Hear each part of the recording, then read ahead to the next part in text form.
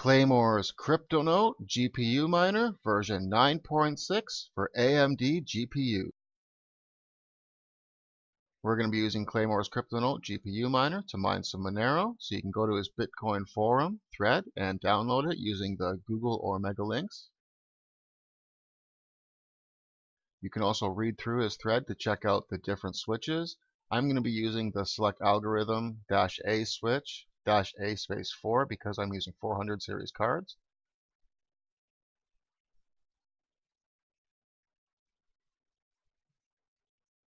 And I'm also going to be using the pools text file to put my pools in. You can put your pools directly in the command line, but I'm going to use the pools text file.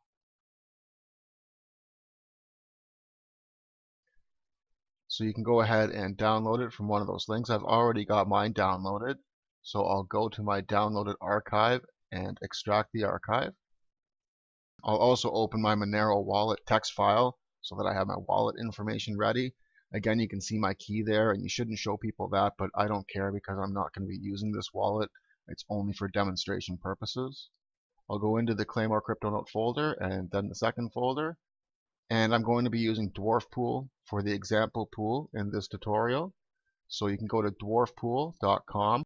So on Dwarf Pool, we can see that they have several coins, including Monero, Ethereum, and Zcash.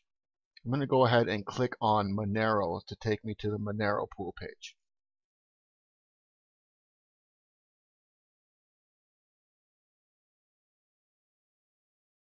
So I'm going to go ahead and open the pools text file.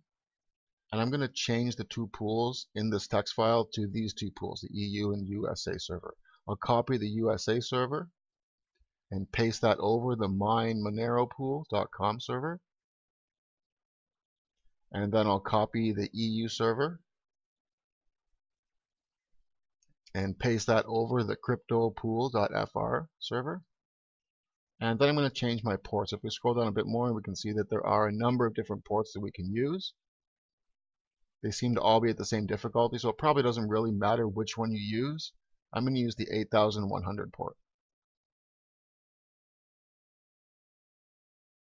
So I'll copy the 8100 and paste that in my pools file.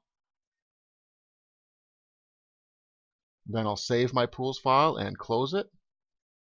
Next, I'm going to want to edit the pool batch file. So I'll right click on that and click edit. And this is our command line. Again, you can put the pools directly in this command line, but if you're using the pools text file, you don't have to. So I'm going to copy my Monero address and paste that over the default address. Dwarf pool lets you add a rig name. It has to be a number or a set of numbers. So I'm going to use 6480 because this is my 6480 rig.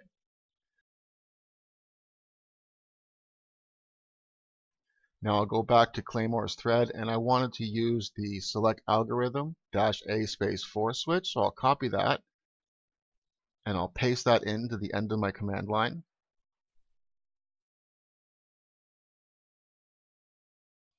I can now save the batch file and close the batch file. I'm going to rename my batch file from pool to dwarf pool just so that in the future I can remember that this is a dwarf pool batch file to launch the miner just in case if I want to use other pools or create another batch file. Then I'll double click on the dwarf pool batch file to launch the miner.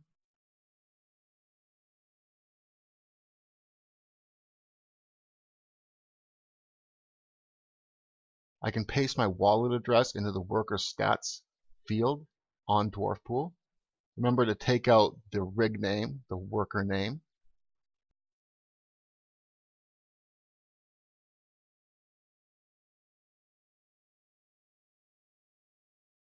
It should only be your wallet address. Then you can click on show and that will show you your worker stats.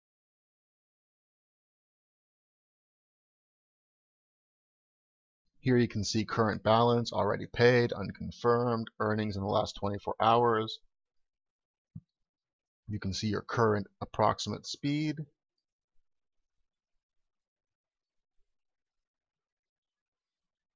You can change your payments to hourly payments. You can see some mining charts, shares found by the pool.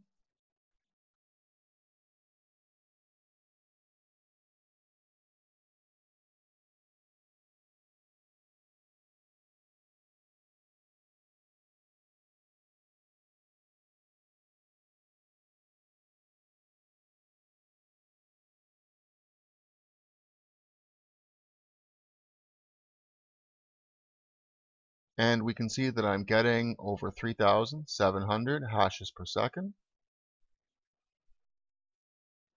And keep in mind that 5 of 6 of these 480s have a modded ROM and there is no additional overclocking on the memory or core.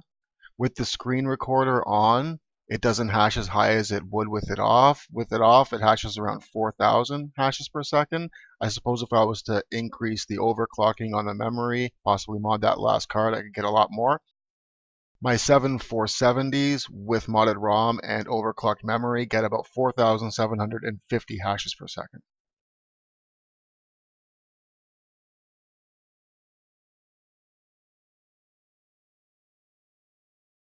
I hope you liked the video. I hope it helped, and thanks for watching.